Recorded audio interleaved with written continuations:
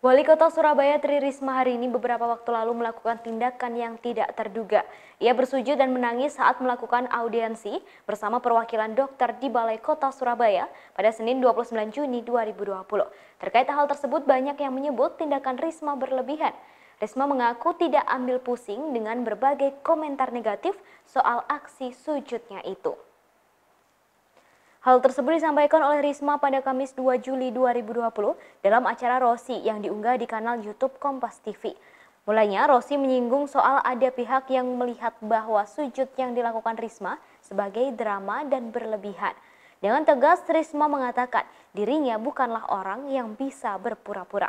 Termasuk sikap sujudnya adalah bentuk ekspresi dari apa yang sebenarnya dia rasakan saat itu.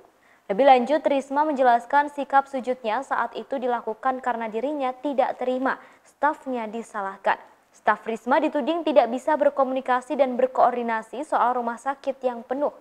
Ia menyebut ia dan para stafnya sudah bekerja keras dalam menangani COVID-19 di Surabaya.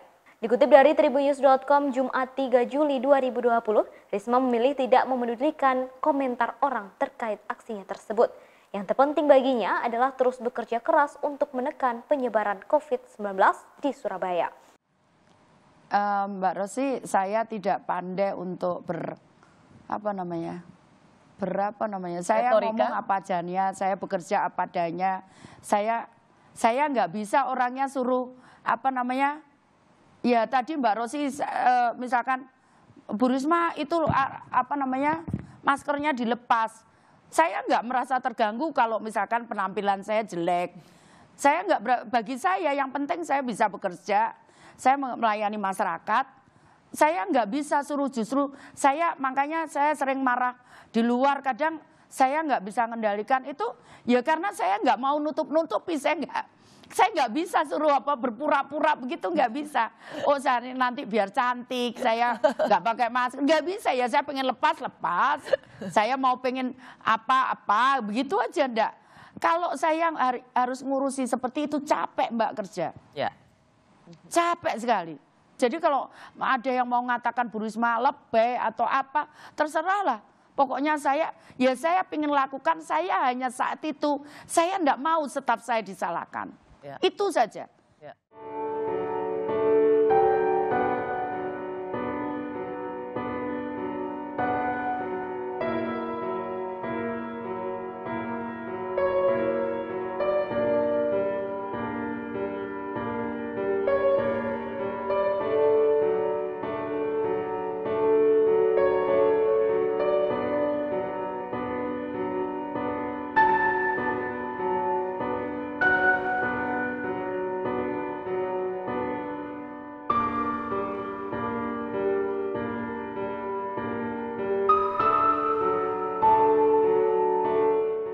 Demikian informasi di Tribunnews Update kali ini. Saksikan terus Tribunnews Update di channel tribunnews.com. Terima kasih sudah nonton. Jangan lupa like, subscribe, dan share ya.